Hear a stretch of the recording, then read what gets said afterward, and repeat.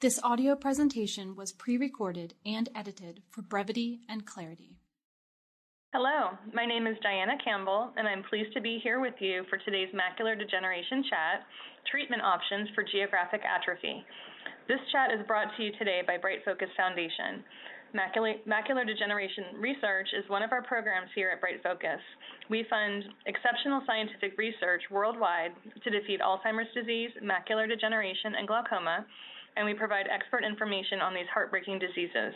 You can find much more information on our website, www.brightfocus.org. Just a few housekeeping items before we start. If you'd like to ask a question during today's call, simply press star three. An operator will take down your question and put you right back into the discussion. Any questions that we don't get to today will be saved for future chats. If you get disconnected for some reason, you can call back at 877 229 8493 and enter the code 112435. Again, that's 877 229 8493 with the code 112435. A live stream of the chat is also available today at brightfocus.org slash live chat. After today's chat, a written transcript will be available in about two weeks, so don't feel like you need to take notes.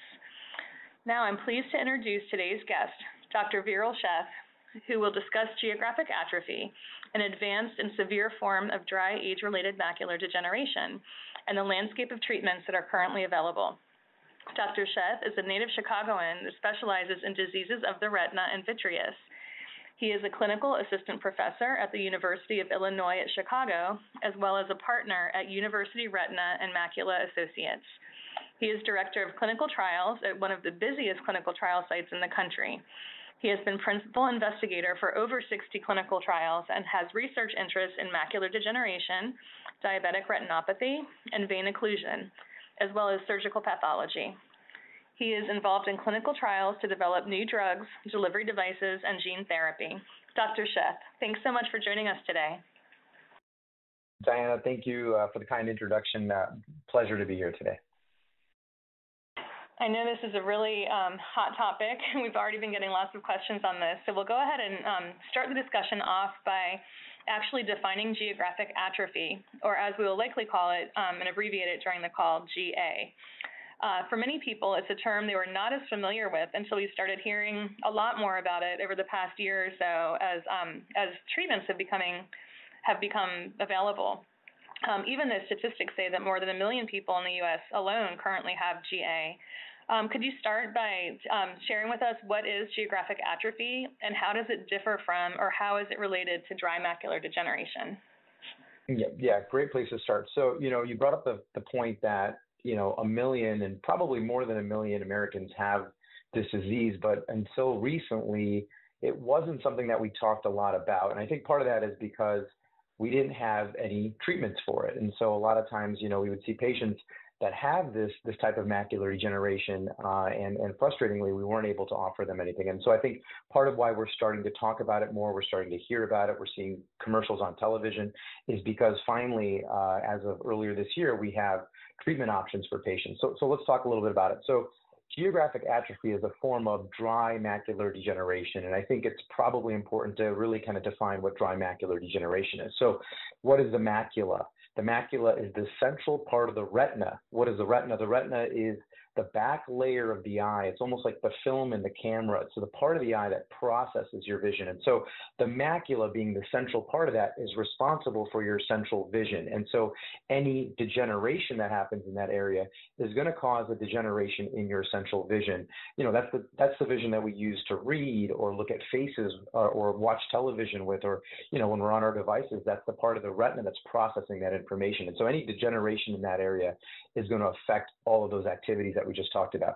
The dry component. So why do we say dry macular versus wet macular? Well, well, for the longest time, for about 20 years, we've really focused in on wet macular. And when we say wet, we say wet because there's fluid leaking into the retina. That fluid could be blood, it could be uh, components of blood leaking into the retina causing vision loss. Why have we talked about that for 20 years? Because we've had great therapies, treatments for those types of macular degeneration cases. But dry means that there's a de- degeneration that is not necessarily, uh, that doesn't have fluid involved. There's no bleeding. Um, and then, look, let's talk about dry macula for a second. So, dry comes in a lot of different flavors as well. There's more mild forms of it, there's intermediate, more advanced forms. And the most advanced form of dry macular degeneration is called geographic atrophy. So, atrophy means thinning or loss of that retinal tissue. In other words, in that central part of your retina, you're actually starting to see a loss of that tissue. And when you lose nerve tissue, when you lose retina, it's not working, right? And so you get uh, central vision loss, blind spots in your vision, distortion in your vision, all of those things as a result of what we call geographic atrophy. Thank you for that really good description. I, I, I love hearing it described as, uh, you know, as the film in a camera and the visual that that gives us to really understand what's happening. So thank you for putting that into really understandable lay terms. Um, as far as progression goes, how quickly does intermediate dry AMD progress to advanced dry AMD or geographic atrophy? Um, and to follow up with that, if someone has received a diagnosis of dry macular degeneration or AMD, how often and when should they be following up with their doctor to discuss um, potential progression to GA or um, identification diagnosis of geographic atrophy? Okay, great questions. Um, so there's a couple of parts. I'll answer your first part. So your question was really progression and how quickly does intermediate dry macular progress to the more advanced forms, or, or in particular geographic atrophy. And, and I think it's an important point to just take a step back and say, look, it is a spectrum. You know, we do see macular start off as mild macular. You know, these are cases where we see a few little findings in the retina, uh, and at that point, you know, we're potentially informing our patients about it. And as it progresses, you see more, you know, more changes to that macula, which are more concerning because as it advances, it becomes more likely over time that it, it can progress to something like geographic atrophy or wet macular degeneration, right? So those are the two ends of the spectrum. So your question about how quickly does it change from intermediate dry AMD uh, to more advanced AMD. And there's there's no real kind of cut and dry answer to that. There's a lot of variables here. So what are things that might cause the macular degeneration uh, in, a, in a patient's case progress more quickly? So genetics, right? We know that there's a big genetic component to macular degeneration. If you've got a strong family history of it, there's a chance that your macular degeneration may progress more quickly. So it's really important, uh, one, to know what the, that family history is and, and certainly relay that information to whoever's taking care of you uh, and doing your eye exams. Uh, things like environmental factors that, that sometimes we do have control over. I'll give you one smoking. Smoking really causes an accelerated progression in your macular degeneration. And so, if you've got two patients that present with the same disease, you, the, the person that's smoking is going to likely progress more quickly than the person that's not smoking. So that's an important driver in how quickly or, or how slow that, that disease can move.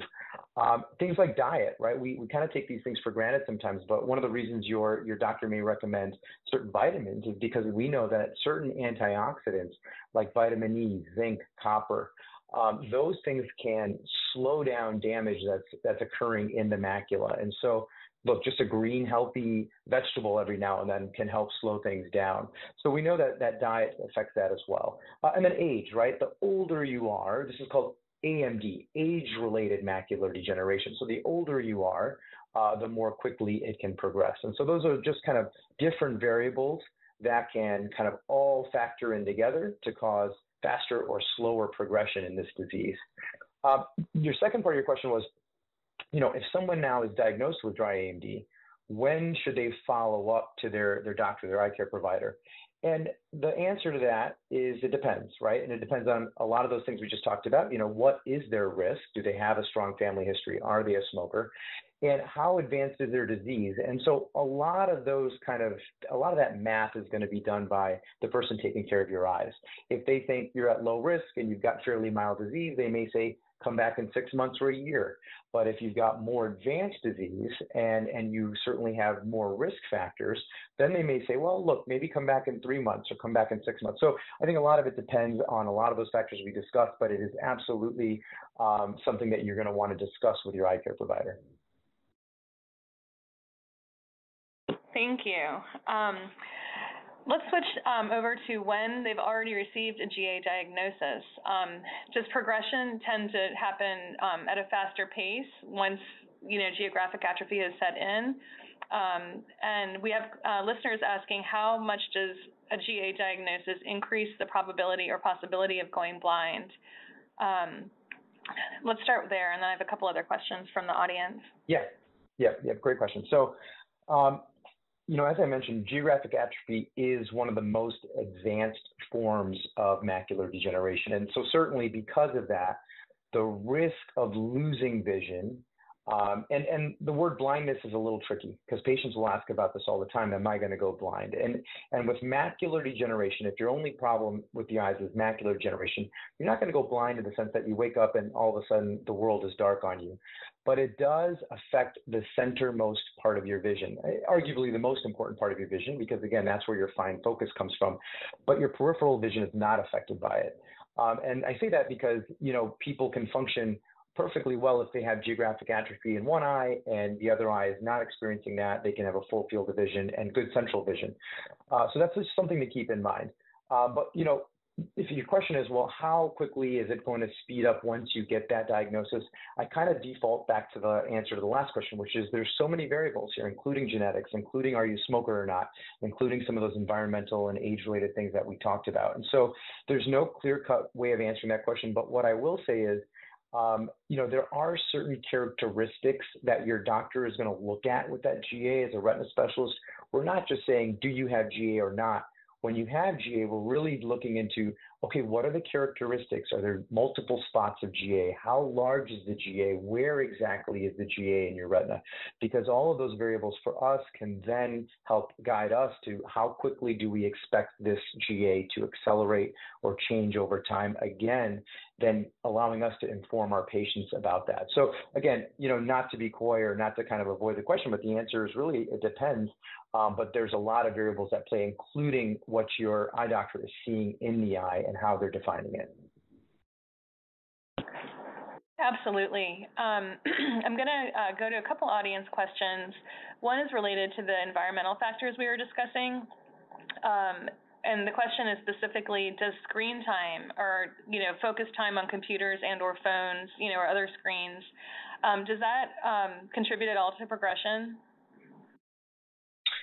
Yeah, it's it's such a timely question, right? Because I think you know what we learned, especially as retina specialists, what we learned during the pandemic is a lot of people are on their screens a lot more, right? Whether it's because you're working from home, whether it's because we've just seen an explosion in these devices that we have around us, whether it's tablets or phones or whatever it is, and we're on them all the time now. And so we're constantly asking the question of, hey, is that is that hurting us in a way that this is going to cause, impact things like macular degeneration or things like nearsightedness? And the answer is we think so, but it's such a new thing for us, right? We haven't had these devices for 50, 60 years, really it's been five to 10 years where we've seen the, the increased use of these devices. And so because of that, because mac- things like macular degeneration are a slow moving kind of disease, there's something that you don't see in 30 and 40 year olds, you tend to see them in 60, 70, 80 year olds we, we don't have great answers to that yet. I think we will at some point, especially once we've had more time with these devices and as people that have been using the devices at earlier ages get a little older and we see the impact on that, we'll have better answers. But but what I would tell you is what I tell my patients, which is look, everything in moderation, right? I think anything where you're going overboard or doing just excess amounts of things like this, where you're on the screen for 8, 10, 12 hours a day, which know we see pretty commonly for people that are that are on the computer for work and things like that. Um, I tell people, look, you got to take breaks. You got to give your eyes a rest. Um, I think, you know, the question of wearing, you know, glasses that help kind of filter out blue light, uh, putting on screen guards that help filter out some of the light. I think these are all good ideas, just common sense ideas. We don't have the best evidence yet. I think one day we will, but I think these are kind of common sense things that we can do. One, not just to re- reduce eye strain, but eventually to re- reduce some of these harmful effects of, of, of these screens that are in front of us. I like that practical advice. I know, you know, for me, being on the computer all day and then back and forth on my phone, I, I, I definitely feel like my vision is blurrier and my eyes are tired by the end of the day. So, you know, that's something I can observe, but I imagine there are other processes that, that are likely going on beyond that. Um, yeah, and, and okay, listen, next... to that point, we're, we're, I was going to say, we're also getting introduced to these screens much earlier, right? I mean, you talked about your son. Well, you know, kids are on these devices quite a bit now, and we still are just learning about the impact. So, so I think, again, just that's just blanket advice about, about moderation. Absolutely, absolutely. Okay, we've got another question from Ralph, um, who um, is asking about home monitoring. What changes in particular um, that one notices as they do the Amsler grid should they immediately call their retina specialist about? Um, and are there other signs that people should be at, looking for at home, um, you know, kind of looking out for that as a signal that their vision might be worsening?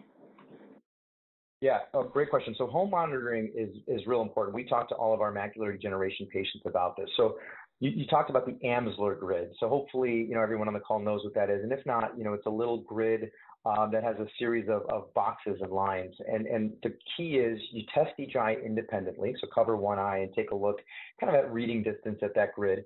And, you know, all if you have no macular degeneration, all those lines theoretically should be straight. Now, if you have some degree of macular degeneration, even just kind of intermediate dry macular degeneration, you may have a little bit of distortion. So some of those lines may not be straight, they may be a little wavy. And if that's your normal baseline, that's your normal baseline because you know some some degree of that is expected if you've got some degree of macular degeneration. Now, the key is, and, and your question is when do you notify your, your, your doctor, is when you start to notice changes from your baseline. So if you start to say, look, the lines are looking wavier to me, that's that's a good reason to call your, your doctor. If you say, look, I'm starting to see real blurred in that in that uh, Amsler grid, uh, that's a reason. Or hey, I'm seeing a dark spot in that grid. Um, any of those things are kind of triggers for you to say, look, I'm going to call my doctor. And your doctor is going to listen to you. They're going to say, look, well, that, you know, I expect that because of what you have, or hey, that sounds different. Why don't you come on in and let's take a look? So, so I think it's, it's worth making the phone call and then letting them kind of decide what the right next step is for them. Great. Um, another quick question from a listener: Does having GA in one eye increase the likelihood that the AMD in the other that, that they'll have GA in the other eye, whether or not they already have um, dry AMD in that eye? Yeah, I, it's a great question. What, one thing that I can tell people is that the general thing is if something's happened in one eye, it's more likely to happen in the other eye. That that goes for macular degeneration, that goes for cataracts, it goes for really any problem, and it's no different for GA. So GA, yes, if you've got it in one eye, you are at a higher risk of developing it in the other eye. Uh, and that, again, goes for dry AMD, wet AMD, GA, all of it. And so I think it's important because your doctor is going to know that and they're going to be looking for that every time. People that, that are listening that, that go to see their doctors for GA or wet macular degeneration know that, generally speaking, their, their specialists are really not only looking at the eye they're treating, but also looking at the other eye specifically for this reason. Absolutely. I know a lot of times in the chats, you know, people like yourself will say, you know, not only is every person different, but every eye is different and really are, are treated as two different um, potential, you know, we've got plenty of people on the call today with both wet AMD in one eye and dry AMD in the other. Um, so that's, that's good to know. Um, we'll ask one last quick question um, about dry AMD and then we'll shift over to the treatments um, that have become available this year. Um, so the, the question is, there are many people who um, are currently on AREDS 2 vitamins because they have been identified as having dry AMD. Um, listeners are asking, are AREDS effective at all once um, the dry AMD has progressed to geographic atrophy? Yeah, it's an important kind of uh, topic because um, it is one of the things that we've we've told people about, told patients about for, for decades. And so really, what is the purpose of AREDS vitamins? The purpose of AREDS vitamins, and, and now we're, we're talking about AREDS 2 formulation of these vitamins, is to reduce the likelihood of that dry macular degeneration progressing to the wet macular degeneration. So whether they have GA or intermediate dry macular degeneration, I recommend these vitamins to my patients because I do think it lowers the risk of them developing the wet type of macular degeneration. And so I think it's important and I think it's a great question to ask. And certainly, you know, it's a good question for patients to ask their eye care providers about because you know, at some stages of macular, we may not even recommend the vitamins. And so I think it's a really important thing to discuss with your provider. Absolutely. And then, of course, going back to the different scenarios that might be occurring in, in one eye or the other. Uh, so it could be helpful for one, I suppose. Okay, um, let's kind of shift over to um, the exciting news of the year. Um, it's been a really busy year in ophthalmology, but especially related to um, the first ever treatments for geographic atrophy. Um, in February and then in August, we saw the first two drugs approved um, for treating geographic atrophy. could you give us an overview of the treatments that are now available? Yeah, certainly. So, you know, in the in the intro, I know you mentioned that we do a lot of clinical trial work. So, so we've been doing clinical trial work in geographic atrophy for for many many years, and so we've had this kind of pent up excitement about potentially being able to treat patients that have geographic atrophy for many years. And that all kind of kind of exploded this this earlier this year, like you said, when we had our first treatment approved, uh, which was called Syfovre, um, and then subsequently, uh, about a month ago, uh, a second treatment called Izervay. And so, you know, this has really changed everything uh, in our field, right? This this reminds me of 20 years ago when we had our first treatments for wet macular degeneration approved, where before that, we had no real, no real good way of stabilizing people's vision, um, and and and that at that time, 20 years ago, was a game changer. So I, I feel that happening again in our field, and and it's incredibly encouraging because we have now, for the first time, like you said, uh, something to offer patients. And so, what does that mean? So what is what is the, the, the what are these treatments really aimed at doing? Right. So we talked about before this. We talked about geographic atrophy and how the atrophy or the thinning in the retina can gradually spread over time. And what that means is the vision loss associated with those areas that are that are becoming atrophic or thin starts to expand. In other words, if you've got a blind spot from atrophy, the blind spot gets bigger over time.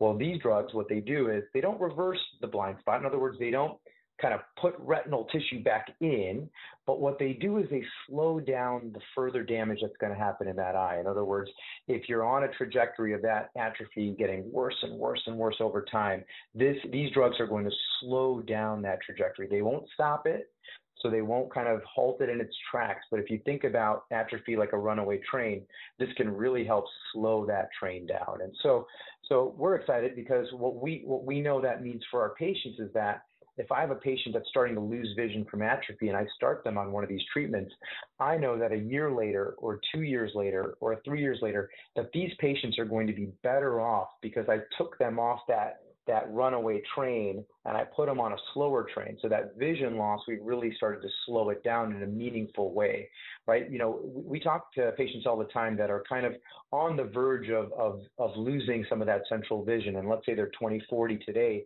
but I know that that, that macular degeneration is going to get worse. And within a year or two, they may be 2060 or 2070. We're talking about the difference between being able to drive and and run your own errands to now potentially losing your license. And so the if we can slow that process down and delay that as much as possible, that that to me is going to have a meaningful impact on that patient's life.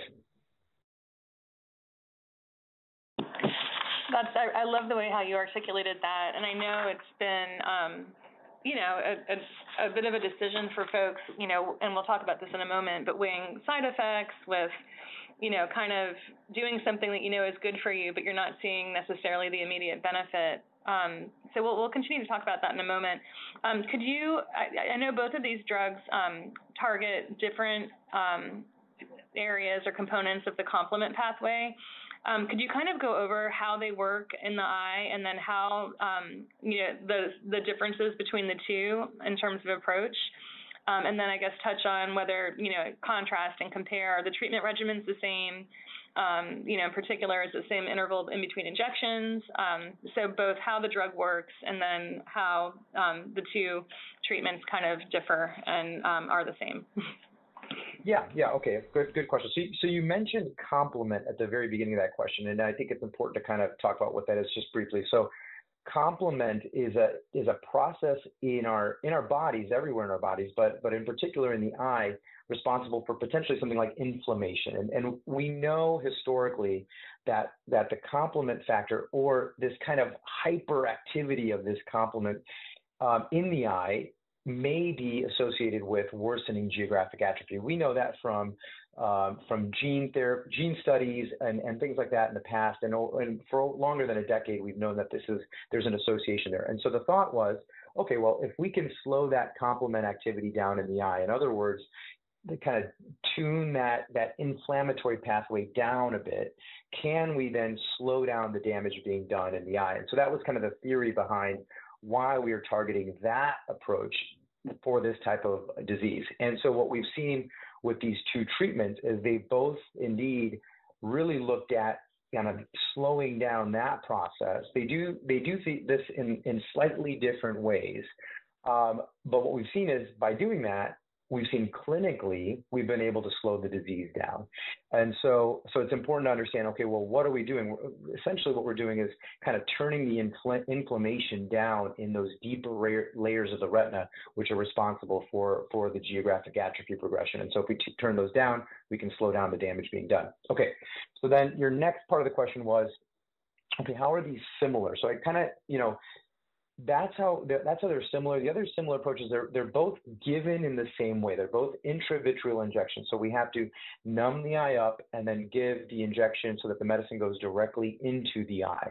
Uh, and that's a you know for for people on the call, they probably are aware of these types of treatments. We've been doing this for wet macular degeneration for 20 years, for things like diabetic retinopathy and retinal vein occlusions for a long, long time. And so the the, the type of procedure is is not new by any means. It's just the treatment itself is new. Both of these treatments, um, and then how how often are they given?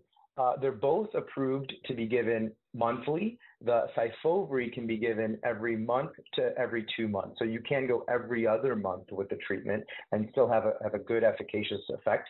Uh, the Izervay, we, we right now currently have it approved for every month treatment. And by giving these treatments, you can really see a meaningful slowdown in the disease. Um, and then they can be given for, for quite a long period of time uh, in order to kind of continue that slowdown of the disease. Um, I think I answered most. Was there another part of the question there? I might have missed it. No, I think you've got it. Thank you. Um, we have a question yeah. from the audience. We had the opportunity um, to talk a little bit more in depth about Syfovre, um, you know, after the February approval.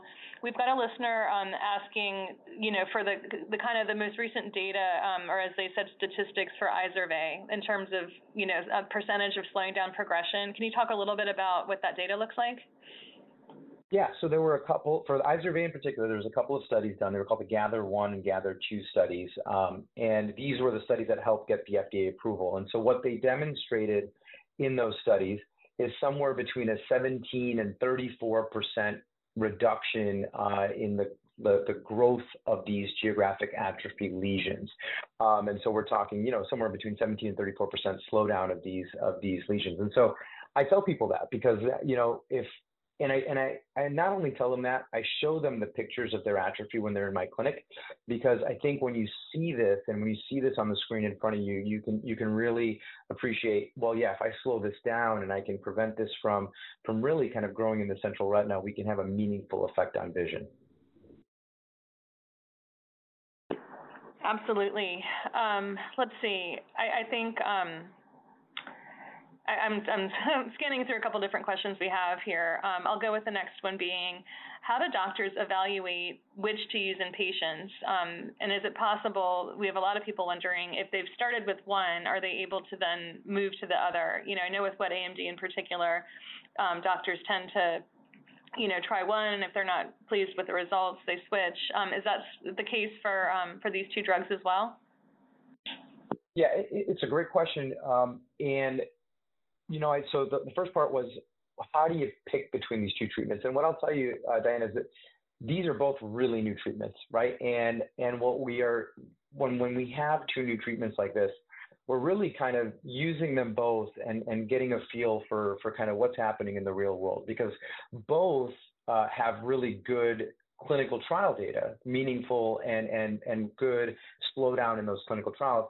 What we want to see now is kind of that next phase of adoption is okay, let's get it in our hands, let's use it, let's see how patients do with it. And we're just in the early innings of that, right? We just had one approved in February and one last month. And so you, if we have this conversation a year or two from now, the, the answer might be different, but, but we're so early in the process that I think there's no real kind of, at least in my personal practice, we're, we're using both treatments. Okay.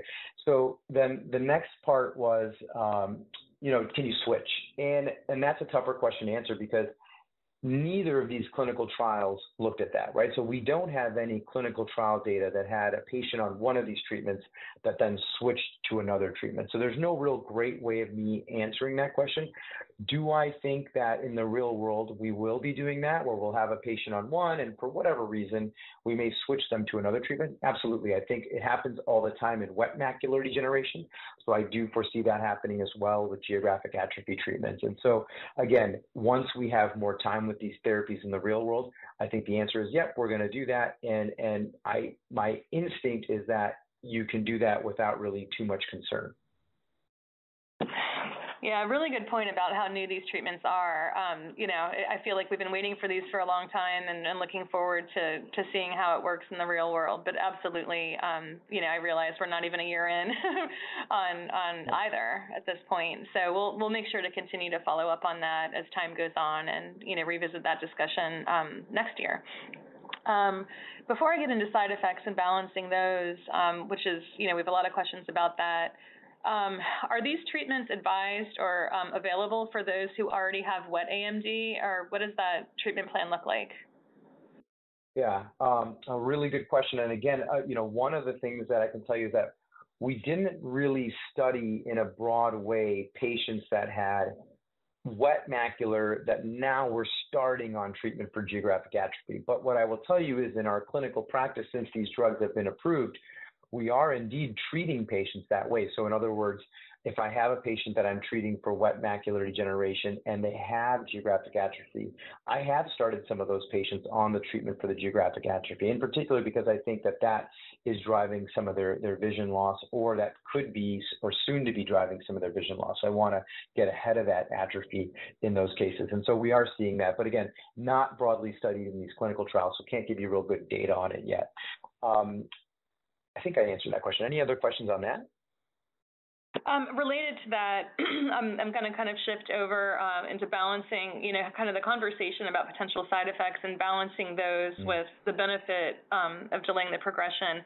And so, on that same topic of wet AMD, um, I do have folks who are wondering what percentage, you know, or, or what's the risk um, of developing wet AMD after um, having an injection of either Syfovre or Izervay.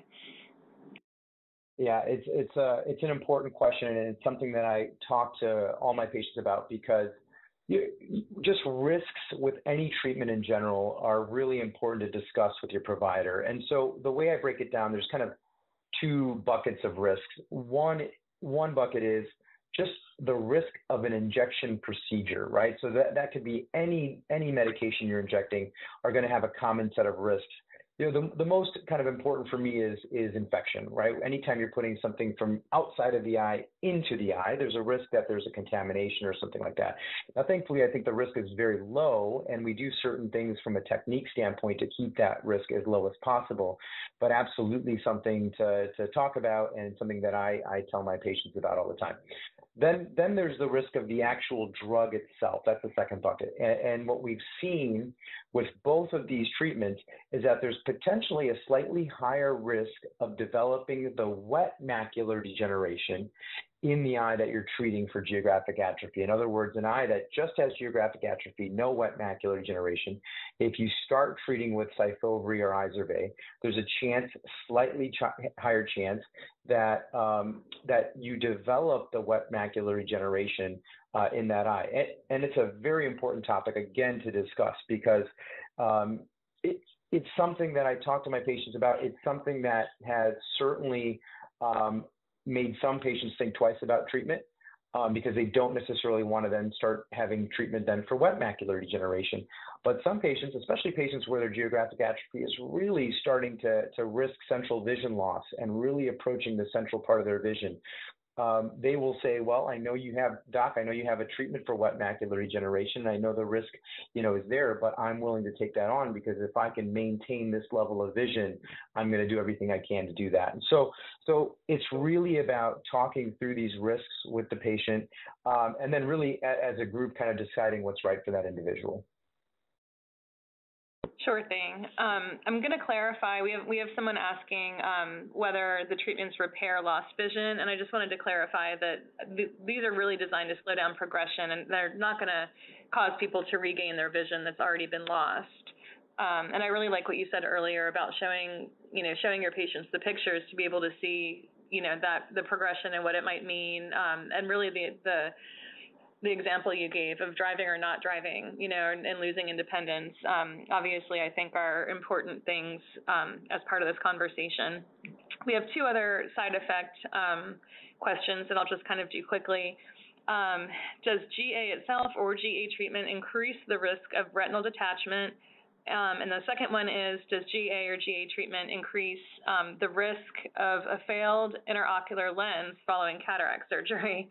Um, they're both a little okay. bit different, but these are of the interest to the audience. Okay, good. So just quick blanket comment, the GA itself does not increase any of those risks. So the geographic atrophy or having a diagnosis of geographic atrophy does not increase your risk of a retinal detachment or any lens cataract issue. The injection procedure, again, independent of what disease you have, it could be GA, it could be wet macular, it could be diabetic retinopathy, but the injection procedure itself does carry a slight risk of having a detached retina. We talked about the uh, infection risk. Um, the cataract risk is, is very minimal. Um, you know, are there cases where it affects the lens in the eye? It can, but very rare. And so um, it's it's one of those things. Again, these are things that we do counsel our patients on, um, especially things like retinal detachment.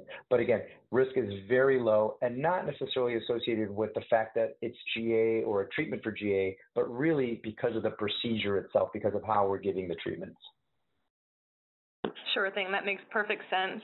Um, as we start to wrap up, um, you know, I know that I've had many discussions with folks, you know, weighing the potential benefit, um, you know, with how much, pro- you know, how much progression they think they might halt versus side effects. What questions, you know, are there two or three questions um, that you would suggest that would kind of guide um, the conversation with our listeners as they, you know, are talking with their doctor throughout this decision-making process? Yeah, you know, and and I uh, yes, I think there's always good questions you can ask your your doctor, and and I'm I'm really basing these off of what my patients ask me and what I what I consider really good questions for them to ask because uh, the information they get is is meaningful. It, it kind of it can help them decide you know, how they're going to follow up or the importance of follow up or, or how they're going to counsel their family members and instruct them to maybe get their eye exams, right?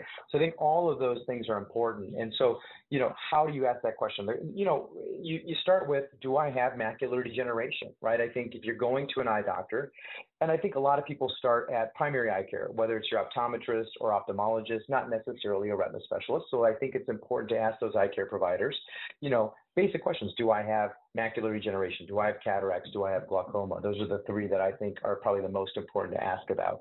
Uh, and if the answer is no, great. You know, then it's about how often do I follow up? But if the answer is yes, then it's okay, doctor, what can I do to lower my risk? It may be taking vitamins. It may be wearing sunglasses while I'm out and about. It may be, you know, so there's a whole host of things that again are going to be tailored to that individual and really important to have as a one-on-one conversation.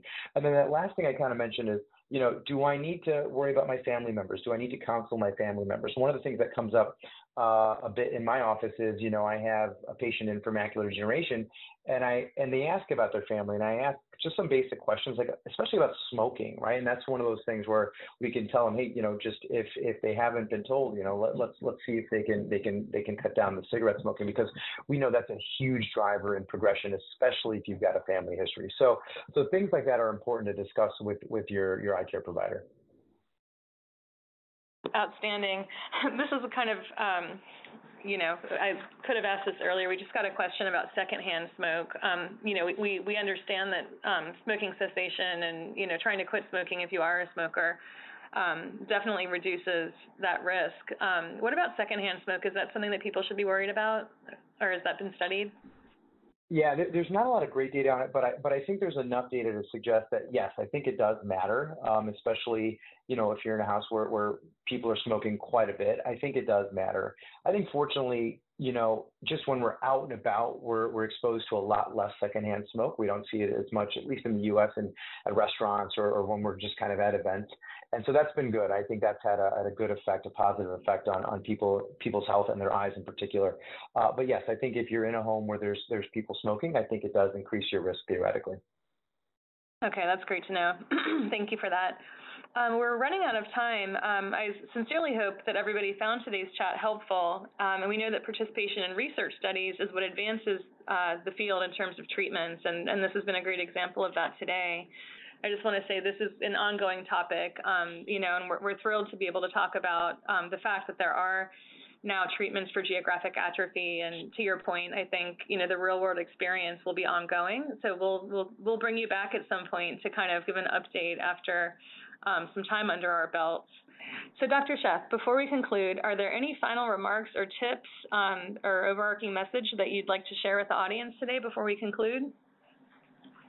Uh, I think the last kind of bit is just if if it hasn't come through yet uh, in my statements, I think this is an incredibly exciting time for us um, as eye care providers because we're finally able to to treat this huge unmet need uh, and we're we're really excited about it. And so so hopefully this kind of sparks a conversation, uh, not just amongst this group, but but amongst your your your friends and families, and and and certainly with with your eye care providers. And so again, I appreciate the the time here and and the uh, the ability to kind of discuss this with with everybody on the call. Thank you very much.